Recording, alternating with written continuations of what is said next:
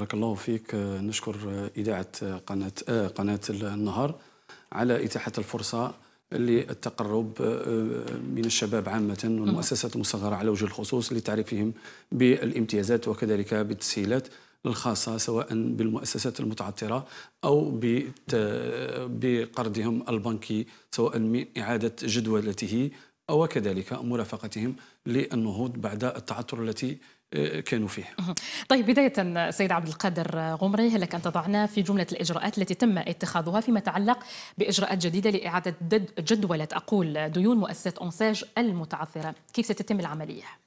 آه، الملف على مستوى آه، الوزارة الموصية المنتدبة المكلفة بالمؤسسات المصغرة وكذلك المديرية العامة كان ملف ربما قد عولج في سابقا لكن بنوع من الثقل الإداري وكذلك من وثائق تعجيزية حالت دون الوصول إلى الأهداف المرجوة آه، أما حاليا وفي إطار المقاربة الاقتصادية والنظرة الاقتصادية الشاملة لمعالجة الملف عامة آه، وبعد الاتفاق أو الاتفاقية الممضاة مع البنوك والتي عقدت بتاريخ سبتمبر 2020 كرست وقعد الإجراءات من شأنها رفع الضغط على المؤسسات المصغرة التي تريد آه، جدولة قرضها البنكي ولها دال ولها أن تستفيد أيضا من مسح غرامات التأخير وكذلك العمولات المتصلة بقرضها البنك الرئيسي.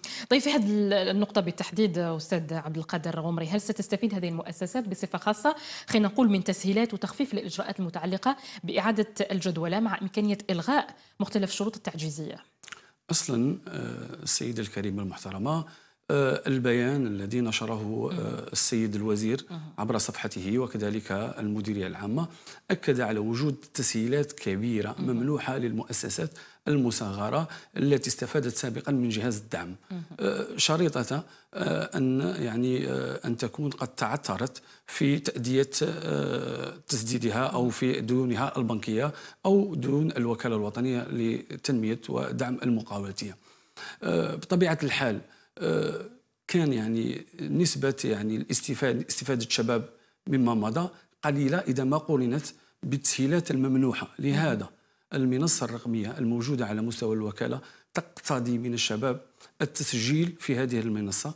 آه، كان أو يوجد آخر أجل اللي هو 31 ديسمبر 2021 لهذا ندعو من هذا المنبر الإعلامي أن يتقدم الشباب إلى آه، تسجيل أنفسهم عبر المنصة.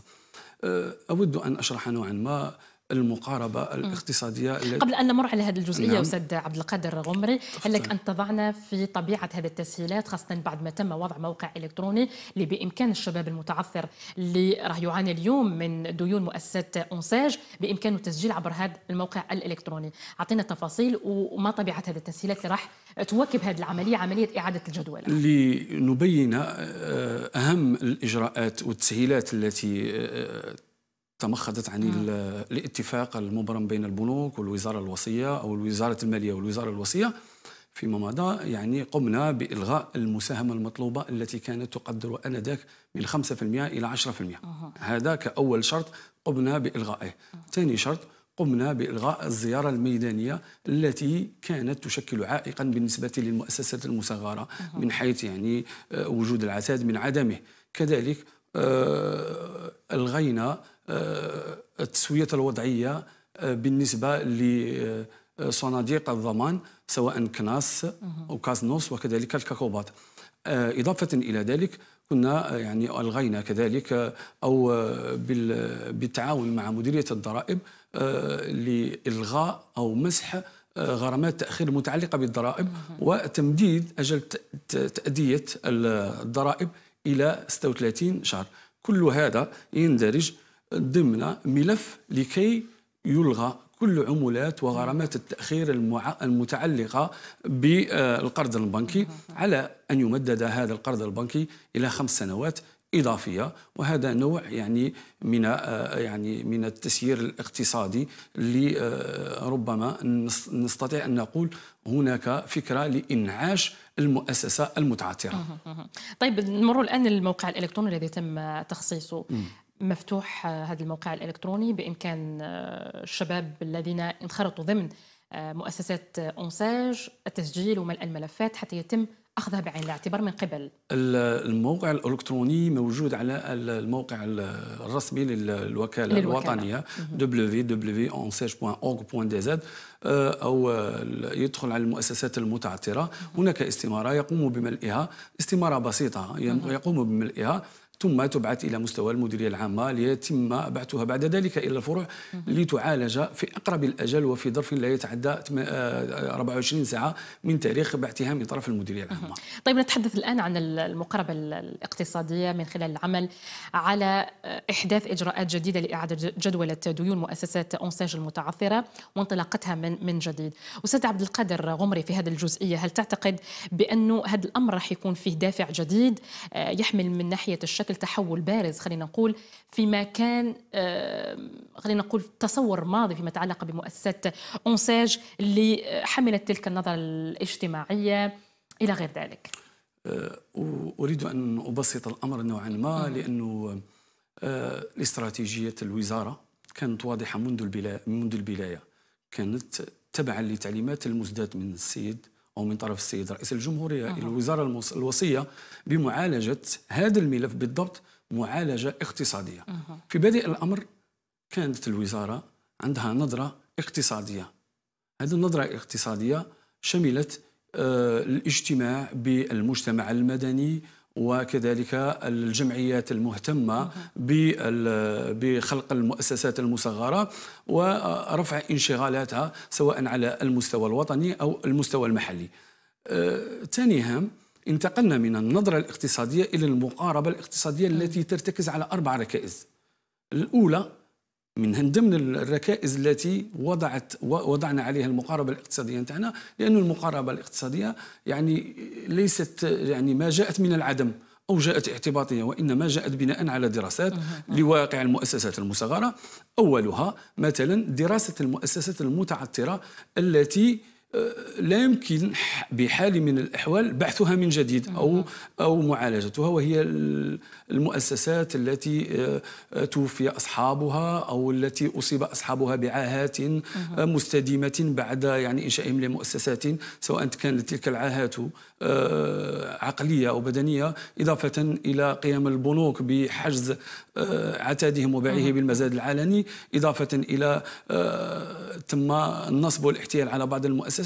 هنا لا بد لهذا الملف بالذات أن يعالج بصيغة غير صيغة الملفات المتعثرة الأخرى. لهذا آه، لا بد أيضا على هذه المؤسسات هذه المؤسسات آه، أن تلج هذه المنصة الرقمية أو يودع أصحابها آه، استماراتهم لمعالجتهم بهذه الطريقة. ثم بعد ذلك انتقلنا إلى الملفات المتعثرة التي وجب علينا كإدارة كوزارة وصية عندها استراتيجية كإدارة معنية أن ترافق أصحاب تلك المؤسسات المصغرة لإنعاشها اقتصاديا.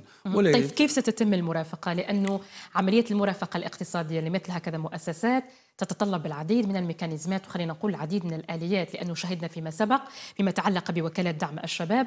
يقول لك المشروع قد يولد منذ البداية متعثر لعدم وجود إمكانية عدم وجود كذلك خبرة بالنسبة للشاب في أنه يقوم بمشروعه إلى غير ذلك. والدليل على ذلك هو تعثر العديد من المشاريع نظرا لما شابت صيغة الدعم اللي كانوا يقولوا أنها نظرة اجتماعية خلينا فيما سبق اليوم العمل على إعادة خلينا نقول بحثها من جديد أكيد لابد أن تكون هناك مجموعة من الميكانيزمات وحتى مجموعة من الآليات الواجب توافرها. أكيد لأنه ربما هنا النظرة الاقتصادية وهو أننا لابد قبل أن ننطلق فيما هو جديد أن نؤكد على ما مضى من الملفات المتعثرة ودراستها.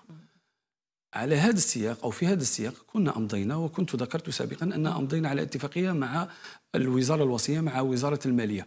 حددت عديد الإجراءات وعديد التسهيلات التي آه، أو في هي تلك الإجراءات يعني التي تضمن للمؤسسات المصغرة المتعثره آه، نجعتها من جديد أو أعطاها نفس جديد. هذا من جديد. آه، ربما لهذا هذه من ضمن الركيزة الثانية. الركيزة الثالثة لقلنا وهي من هي ضمن المقاربة الاقتصادية وهو إيجاد نظام بيئي اقتصادي متكامل آه، الوزارة الوصية إلى حد الساعة لا زالت تعقيد وتمضي اتفاقيات مع عديد القطاعات المهمة سواء مديرية أو مؤسسة توزيع الغاز والكهرباء مثلا الجزائرية للمياه آه، وزارة البريد والاتصالات آه، كذلك وزارة الصناعة وزارة آه، كذلك هناك عديد الاتفاقيات التي أبرمت والتي هي قيد الإبرام لمحاولة إيجاد نظام بيئي متكامل ما من شأنه أن يكون أو يقوم ببحث المؤسسات المصغرة المتعثرة من جديد عن طريق يعني إيجاد دفاتر أعباء مخططات أعباء أو مناولات هنا وهناك. هذا اللي آه، يعني لكي نستطيع من جهة جدولة قرض قرض جدولة قرض المؤسسات المتعثرة وإيجاد نظام بيئي متكامل اقتصادي آه، تستطيع أن تكون المؤسسة المصغرة أحد نواته وهذه تعتبر جزئية جد مهمة. أستاذ إيه. عبد القادر غمري فيما يتعلق بإيجاد بيئة اقتصادية ملائمة لبحث وحتى إعادة بحث مشروع متعثر من جديد. وهذا الأمر الذي بإمكانه كذلك أن يتماشى مع الاستراتيجية الاستراتيجية الجديدة للنمط الاقتصادي الجديد وفق كل هذه المقاربة الاقتصادية. نعم. طيب أستاذ عبد القادر غمري منذ أن تم الإعلان على إعادة الجدولة الإجراءات الجديدة خلينا نقول لإعادة جدولة ديون مؤسسة أنساج المتعثرة هل لك أن تطلعنا بلغة الأرقام عدد الملفات التي تلقيتموها على مستوى الوكالة بالنسبة لهذا الشباب؟ ما طبيعة هذه المشاريع التي تعثرت وغيرها من الأمور منذ أن تم الإعلان عن هذا الأمر؟ بخصوص المنصة الرقمية التي يسجل فيها الشباب إلى حد الساعة آه، لا يوجد لدي آه، رقم معين بخصوص التسجيلات.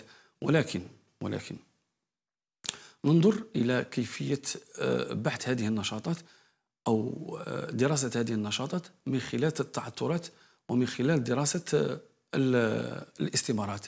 نجد أنه هناك بعض المؤسسات يعني لما نتكلم على تفاصيل التعثر نجد أن بعض المؤسسات لم يكن لها مناخ بيئي ملائم. كانت هناك آه، منافسات غير شريفة. كانت هناك استيراد لبعض المنتجات التي كانت السوق الجزائرية والمؤسسات الصغيرة توفرها ومع ذلك هناك مؤسسات. لهذا ومن خلال الاستراتيجية كذلك للوزارة الوصية والمديرية العامة ارتأينا أن نقوم بجمع جميع المؤسسات المصدرة وكذلك جميع المؤسسات المهتمة بالتصدير ومعالجة هذا الموضوع على مستوى مركزي سواء مع الوزارة الوصية المنتدبة ووزارة والوزارات المعنية اللي هي وزارة التجارة على الخصوص. من خلال العمل على تنويع العديد من المشاريع. من المشاريع وعملية تسهيل وتسهيل في نفس الوقت التسهيل. حتى تتماشى مع الطابع المحلي لما لا لهذا الشباب على مستوى بلدياتهم على مستوى الولايات التي يقطنون فيها. لأنه في السابق لما نتحدث عن مؤسسات أونساج شهدنا نفس المشاريع نفسها. لكل الشباب كان عنده مشروع واحد وتم تعميمه على العديد من الولايات. اليوم التنويع جزئية مهمة كذلك.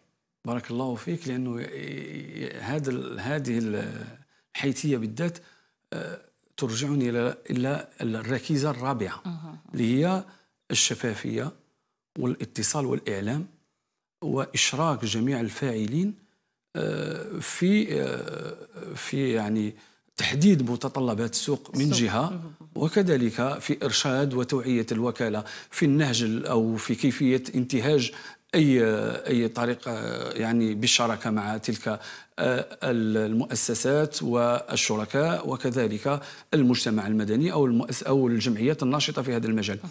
آه، ربما ربما آه، من خلال يعني هذا التواصل أو الركيزة الرابعة اللي هي الاتصال والإعلام نستطيع أن نقول فيما مضى كنا نقوم بتمويل المؤسسات لكن ليس على حسب الطلب. أما الآن هناك تواصل جدي مع الإدارات والشركاء ورؤساء البلديات لتمويل المؤسسات حسب احتياجات كل منطقة. هذا الشيء قد يفهم البعض بمعنى أن الوكالة في مقاربتها الجديدة لا تريد التمويل من أجل التمويل وإنما تمويل من أجل تلبية حاجات ساكنة تابعه لكل بلدية على حدة أو ولدي أو بلدية أو آه، ولاية أو الوطن جميعا. أشكرك جزيل الشكر سيد عبد القادر غمري مدير فرع الوكالة المحلية لدعم وتشغيل الشباب الجزائر الغرب على كل هالتفاصيل التي قدمتها. الشكر موصول لكم على إتاحة الفرصة من جديد وبارك الله فيكم. شكرا لك مرة ثانية. مشاهدينا